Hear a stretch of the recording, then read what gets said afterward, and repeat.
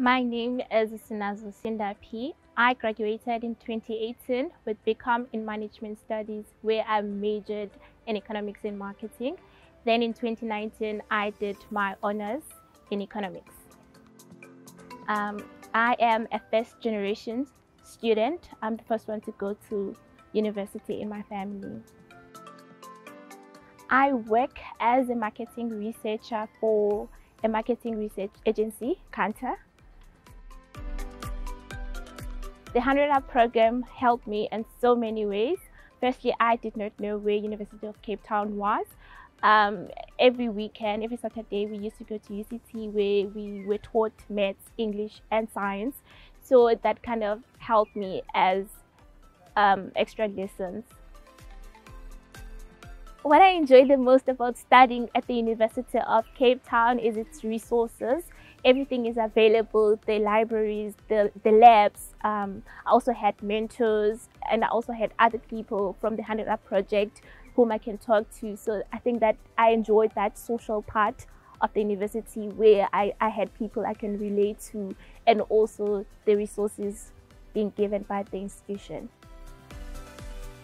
My career aspirations change each and every year but I would like to be in a marketing environment. For now, I would like to be a brand strategist where I do all things brands and help brands achieve um, what they want to achieve.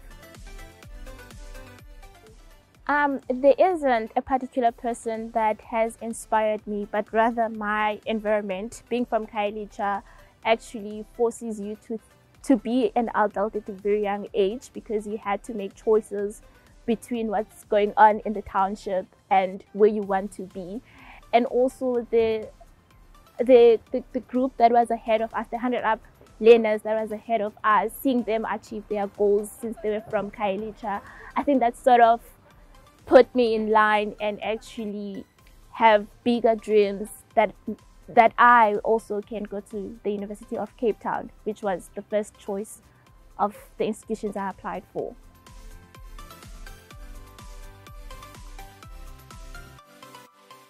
Um, what I would like the future 100 uppers to know about the program would be to take this opportunity with both hands. Um, it's a life-changing opportunity. It changed my life uh, in so many ways. Now I am working um, as a marketing researcher. I never thought that I'd work in the marketing world before, but since I took the opportunities um, with both hands, going to class each and every day, when we had a class so I think for them to take this opportunity with both hands and knowing that it's a life changing with a lot of sacrifices along the way.